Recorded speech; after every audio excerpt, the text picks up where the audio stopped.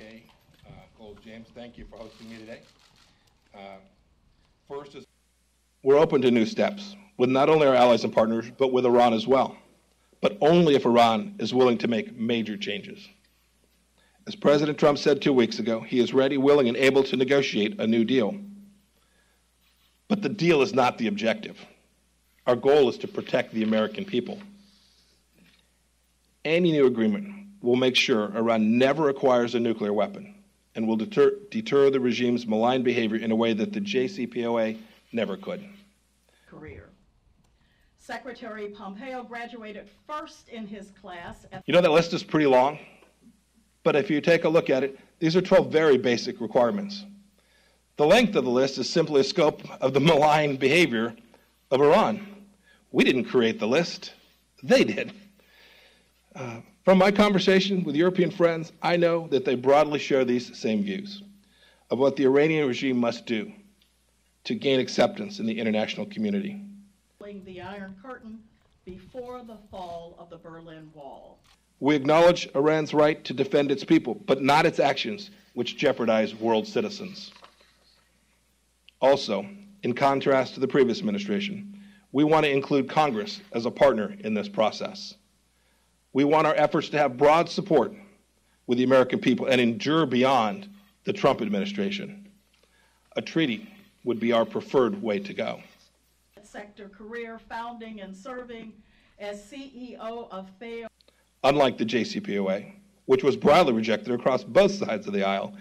An agreement that President Trump proposes would surely garner this type of widespread support from our elected leaders and the American people. In the strategy we laid out today, we want the support of our most important allies and partners in the region and around the globe. Elect Benghazi Committee. Recognizing the Secretary's We understand that our reimposition of sanctions and the coming pressure campaign on the Iranian regime will pose financial and economic difficulties for a number of our friends. Indeed, it imposes economic challenges to America as well. These are markets our businesses would love to sell into as well. And we want to hear their concerns. But you know, we will hold those doing prohibited business in Iran to account.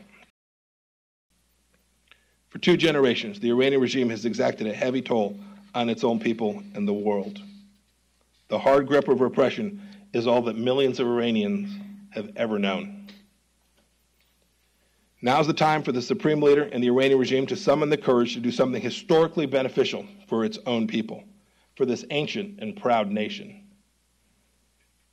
As for the United States, our eyes are clear as to the nature of this regime but our ears are open to what may be possible. Unlike the previous administration, we are looking for outcomes that benefit the Iranian people, not just the regime. If anyone, especially the leaders of Iran, doubts the president's sincerity or his vision, let them look at our diplomacy with North Korea. Our willingness to meet with Kim Jong un underscores the Trump administration's commitment to diplomacy to help solve the greatest challenges even with our staunchest adversaries.